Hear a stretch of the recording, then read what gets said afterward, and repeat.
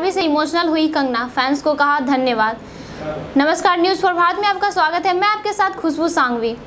26 जुलाई को रिलीज़ हुई film judgemental है क्या? को बॉक्स ऑफ़िस पर धमाल मचा दिया। जहाँ फ़िल्म को क्रिएटिक्स ने सराहा तो वहीं एक्ट्रेस कंगना रनौत और एक्टर राजकुमार राव की एक्टिंग की तारीफ़ हुई। फ़िल्म जजमेंटल है क्या को लोगों ने काफ़ी पसंद कर रहे हैं? कंगना, इन दिनों हिमाचल प्रदेश की स्पीति वैली को खूबसूरत वादियों में छुट्टियाँ मना रही हैं। इस दौरान कंगना ने फ़िल्म जजमेंटल है क्या को पसंद करने के लिए दर्शकों को शुक्रिया किया। कंगना की टीम ने सोशल मीडिया अकाउंट पर कंगना की तस्वीर शेयर की, जिसमें कंगना रनौट हिमाचल की खूबसूरत वादियों के प्राकृतिक सौंदर्य में काफ़ी खुशनुमा महसूस कर रही थी। साथ ही कंगना की टीम ने एक वीडियो भी शेयर किया, जिसमें कंगना अपने फैंस को शुक्रिया अदा कर रही हैं। 26 जुलाई को देश के सिनेमाघरों में जजमेंटल है क्या? रिलीज़ हुई पहले दिन के शो के बाद फ़िल्म को लेकर जनता और क्रिटिक का रिव्यू पॉजिटिव मिला, जिससे फ़िल्म के अच्छे कलेक्शन की उम्मीद है।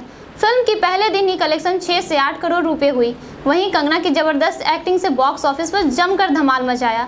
इस फ़िल्म में ये दोनों दिमागी मरीज़ दिखाए गए हैं और उसमें इन दोनों की केमिस्ट्री देखते ही बनती है। हालाँकि फ़िल्म के टाइटल पर काफ़ी विवाद हुआ था। रिलीज़ से पहले फ़िल्म को टाइटल मेंटल है क्या था, जिसके बाद बदलकर जजमेंटल है क्या कर दिया गया था। आगे की तमाम खबरों के लिए देखते रहिए न्यूज़ फॉर भारत धन्यवाद।